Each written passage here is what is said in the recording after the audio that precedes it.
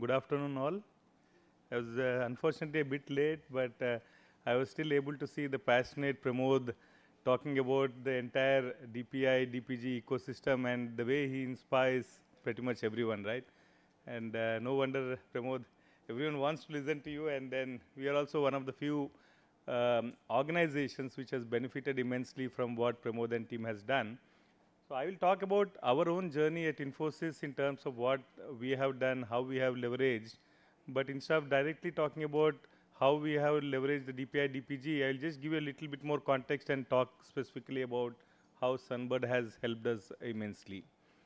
Uh, Infosys is the world's largest corporate university. I had learning for uh, Infosys, and uh, Infosys is always known for corporate university uh, Pramod himself was one of the first educators in the education and research team, and people still remember him teaching uh, databases and everything uh, at Infosys. But the, I, I, call this evolution of learning as an important element, especially when we are looking at today. Uh, everything is centered around the disruptions that we are seeing, whether it's AI, metaverse, and everything before but uh, the entire thing is tied around the skilling, the lifelong learning and everything. So in that sense, while we call this learning 1.0 as physical ecosystem, physical great campus, wonderful educator, uh, educators, classroom infrastructure, scheduled lessons, and everything, when Nandan came back as chairman of Infosys in 2017, uh, his vision was very simple. He says, we need to kind of break away from this thinking of intranet, which is everything is behind a firewall, everything is behind a secured kind of a network, which means you are not really enabling people to have any additional way of accessing information when they are outside the Infosys network. So his message was very simple, get into a anytime, anywhere model of thinking. And um, he gave us a directive saying, how can you transform learning at Infosys? And that is where we got in touch with uh, Pramod and Sanjay Purohit. And uh, we were looking at developing few platforms, even though we had our own internal digital learning platforms, we were looking at actually fulfilling the vision or the, the, the vision that Nandan has painted for us. And we actually encountered uh, the entire Sunbird ecosystem, or we actually saw the Sunbird ecosystem in 2017 uh, October, and we realized that you know this is very this is going to be very important foundational step in our journey to that learning 2.0, which is anytime, anywhere uh, learning. And what we learned at the time was obviously by the time uh, was already successful, we had leveraged Pramod's time many a times in terms of how do we think uh, big, how do we think scale. So the idea that we had was obviously we need to think big, but you also need to start small and scale fast. So this was the three simple words or three simple sentences if you look at it. Think big, but start small, but once you realize the success, scale fast. How do you do that? So we leverage Sunbird. Uh, then we built our own learning platform. We call it Lex at Infosys. And uh, that was the first uh, mobile first, cloud first, uh, outside the intranet, first internet app that we did at, at Infosys. And uh, it was very well done by 15 developers leveraging the ecosystem of the Sunbird, um, the entire Sunbird repository that we leveraged. And then we built our own version on top of it. That was Learning 2.0. Learning 3.0 was something where when COVID uh, struck us, we said, you know, we need to go beyond the physical boundaries. We need to get into the metaverse, the hybrid, the virtual, and uh, that is something that we are again uh, doing quite a bit of work. Uh, and again, last one year, everyone is talking about generative AI. So now we are in what we call as a 4.0 version of learning, where we are getting into human plus AI model of uh, adoption at Infosys as a AI first learning, where human plus AI driving hyper personalization at scale is what we are trying to accomplish. So uh, let me talk about how did we use Sunbird. I think you already heard enough about the architectural principles and everything. Uh, the most important thing that we liked, especially when we looked at Sunbird, was the, the, the entire uh, extensible schema, the modularized approach towards doing things. And then how can we imagine? I think uh, Pramod talked about layered innovation or uh, have minimalistic approach, but then have ability for the uh, consumers to kind of build layered innovation on top of it, right? So that is what we did in terms of we looked at this extensible schema and uh, Sham, who is going to be talking in one of the sessions, who is the chief architect of our platform, we have used that entire model to create our own uh, imagination on this, right? So for example, we have created a learning playlist, we have created learning goals, uh, we have created uh, knowledge boards, and everything is centered around how that extensible schema and the collection hierarchy is centered around. And with the same concept, we are able to kind of create many different capabilities uh, just uh, leveraging the full value of that, uh, the schema plus the collection hierarchy and everything. The second one was observability. Uh, when we were when we were looking at doing this, we were already 250,000 employees at the time. Now we are 330,000 employees. So we obviously need to have a good set of telemetry, good set of uh, uh, dashboards to make sure that we know our employees are learning, they are continuously getting skilled for the ever-changing future.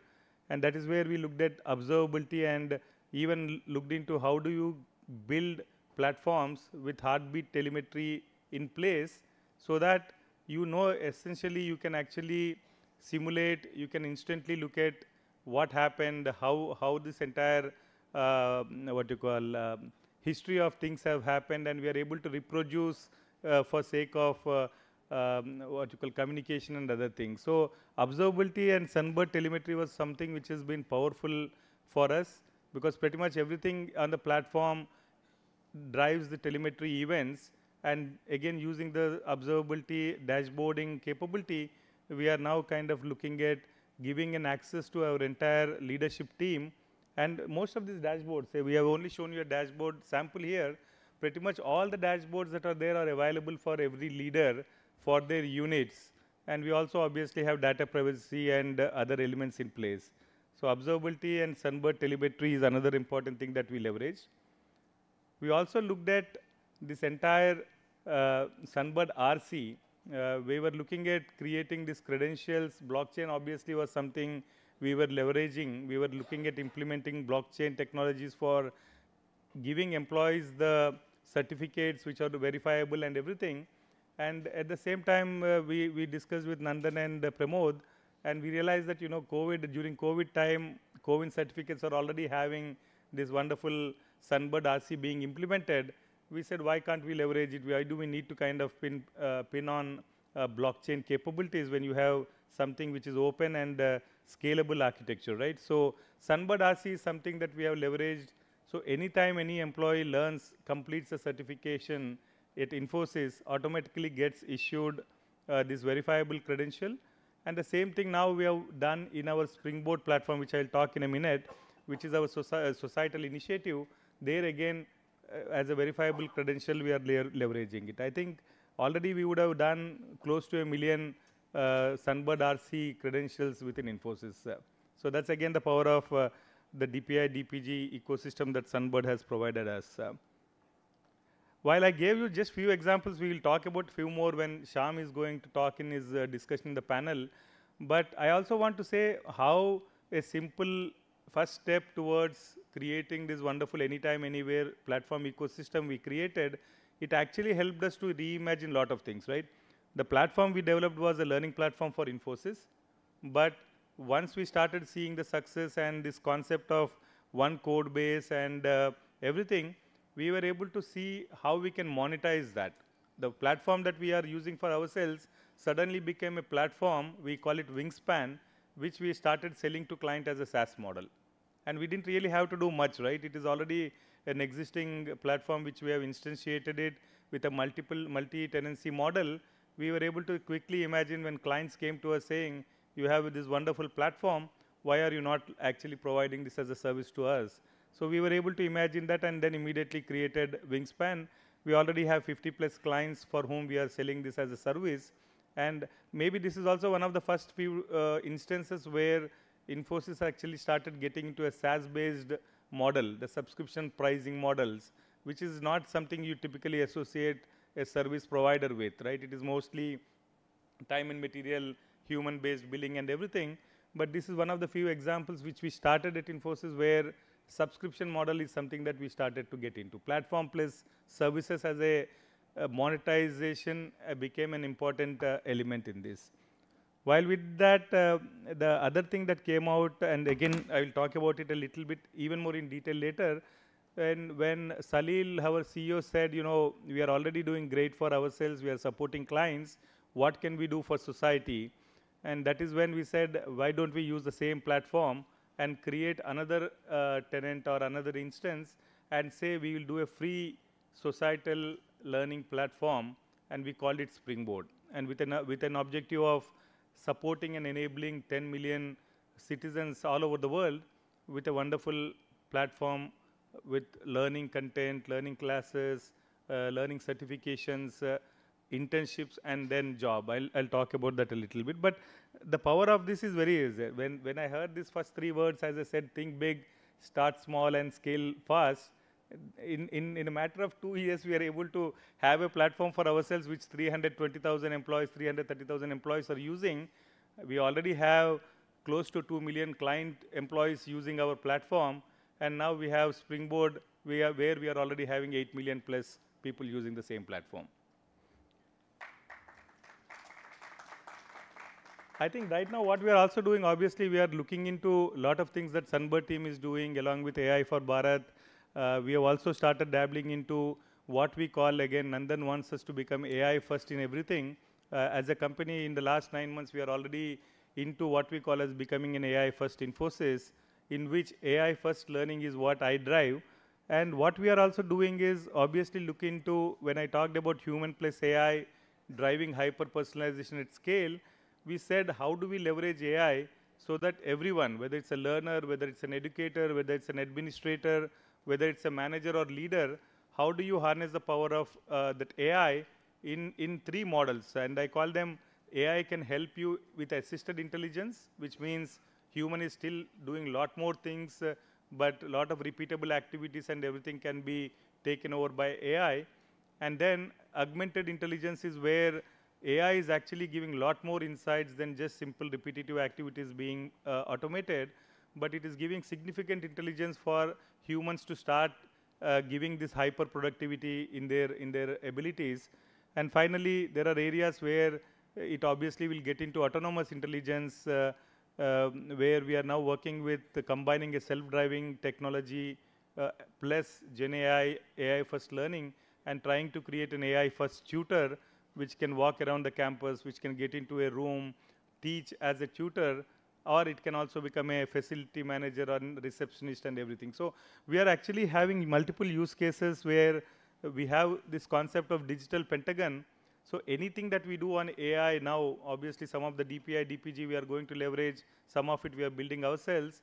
But the idea is how do you improve experience, how do you innovate, then how do you accelerate based on whatever infra and uh, platforms that you have set up, and then finally, how does it provide you with great insights and assure yourselves on becoming that AI first uh, as a story.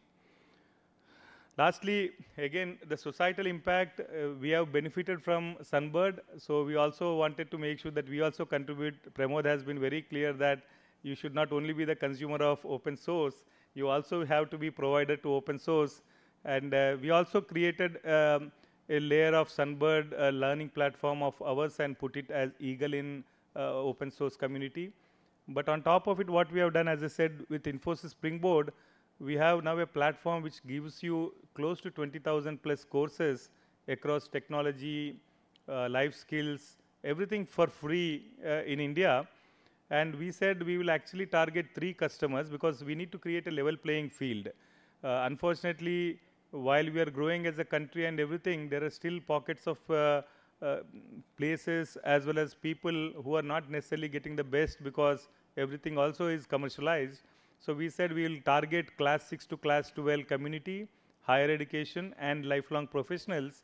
And we said we are going to give them a level playing field with great content, great classes, internship programs, and all of that. So we are already seeing great success. We are partnering with 10 states in providing Springboard as a, a way of making sure that quality education is imparted to all the state, uh, state-sponsored and state-governed educational institutions.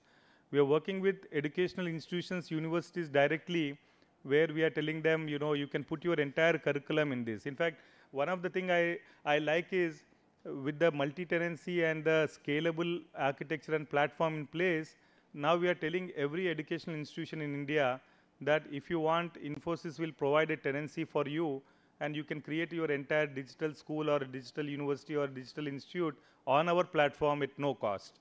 So that is one of the important focus that, uh, uh, that we are doing. The good news is we already have close to seven and a half, uh, eight million people registered on the platform. There are two and a half million people actively learning on it. Close to 250 institutions are already using this platform. 30% of them are girl students. We just launched a program for girl students, which is Pragati Path to Future. So the idea is, again, we are benefiting from the communities. We are benefiting from a lot of NGO and the DPI and DPG ecosystem. This is our endeavor, not only to give projects back to the open source community, but give a platform which is free, which is open in terms of access for everyone to leverage it, and we can create multiple models around that. So I have few more slides, but I'll just stop here. Any questions, if you have, I will be happy to answer.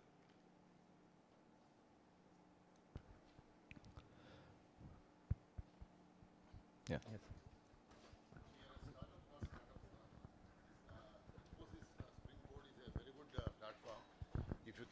with this one, if you can uh, uh, conduct uh, meetups, weekend meetups, no? So Yes, that sir. uh, focus groups, we can come and participate. I am from Bangalore only. We can always. we can we uh, can connect. this. In fact, we would like the startup communities to use the platform for your own employee skilling. Uh, there is a job portal that we are creating in case you are looking at hiring.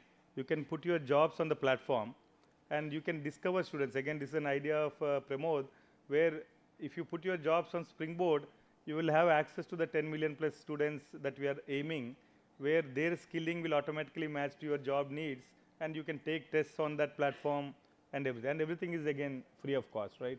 Yeah, to so outside of that, dialogue, we can, uh, meetups are uh, really yeah, yeah, we- please, we can Techni- connect. Technical meetups. Yes, we can we can arrange that. The other important thing I forgot to say is whenever we are doing internships also, the goal that we have taken in these internships this year we are going to do 10,000 free internships or internships for students.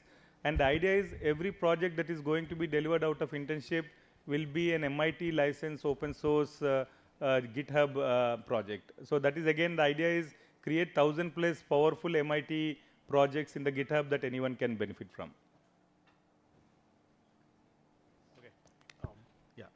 A very, very tactical question. Firstly, thank you so much. Yeah. Uh, good to see what you presented. Very inspired. Um, very tactical question is that a lot of L&D teams, you know, within companies are, you know, people who came into the profession with a lot of passion. They're also very pained people, you know, because their scope is limited, budget is limited. Uh, you know, they're so passionate about improving people's potential and all that. Um, I know like several such teams across Bangalore and other places. How can teams like that, people like that, you know, who are within companies who have acquired such deep expertise in training within those companies, how can they contribute? Um, you know, and No, I in mean, fact, uh, to be frank, uh, that uh, that statement I would have accepted maybe three years, four years back, where learning or any corporate function in that, for that matter, right, is always considered as a back-end function. But the times have changed, right? Uh, in fact, Nandan says whatever we as Infosys, for example, is taking to client, we should first be the first change adopter within the company.